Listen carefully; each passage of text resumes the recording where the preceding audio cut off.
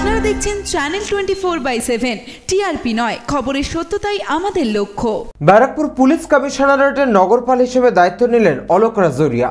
দু সালে কর্মজীবনে অলোক রাজোরিয়া পুলিশ সুপার হিসেবে পূর্ব মেদিনীপুর, পশ্চিম মেদিনীপুর, মালদা সহ বিভিন্ন জায়গার দায়িত্ব সামলেছেন।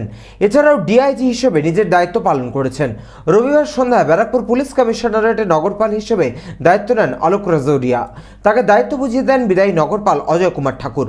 এছাড়াও এদিন তার সাথে ছিলেন বিভিন্ন ব্যারাকপুর পুলিশ কমিশনারেটের উচ্চপদস্থ আধিকারিকরা। ব্যারাকপুর থেকে সৈকত গঙ্গোপাধ্যায়ের report, channel twenty four by seven. আপনারা দেখছেন channel twenty four by seven TRP নয়। খবরের সত্যতাই আমাদের লক্ষ্য।